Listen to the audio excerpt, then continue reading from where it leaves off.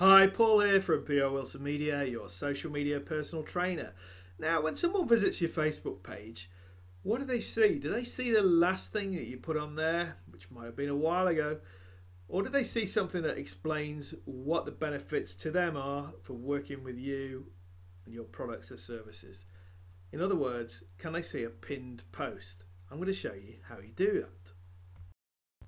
Here we are on one of the pages that I manage, and as you can see, there's a little blue pin icon to show that something has been pinned to the top. So this could be a current promotion, something you want to highlight, some kind of information, as I say, about the benefits of the company, whatever it is. Generally look for something that's already had quite a bit of engagement. So in this case, it's had a few likes and comments and it's reached a number of people. And if you want to change, this is what you do. So I'll just scroll down to another post. Let's pick this one.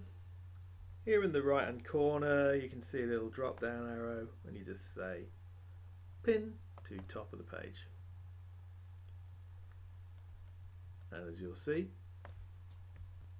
that's now replaced that previous post as the pinned post so you can just unpin pin should be able to do it from mobile devices as well uh, again if I wanted to change to this one I could just select pin post Okay, so you get the idea. So that's um, definitely the way to go, particularly if you're not particularly active regularly on Facebook. Uh, just have something pinned there so that people can understand what you're all about and how they can get in touch with you.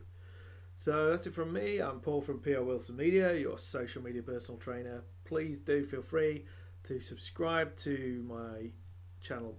Um, you can get access to uh, well over 100 step-by-step videos. We're doing a lot in 2017 and updating these regularly. So hopefully I'll see you again on another video.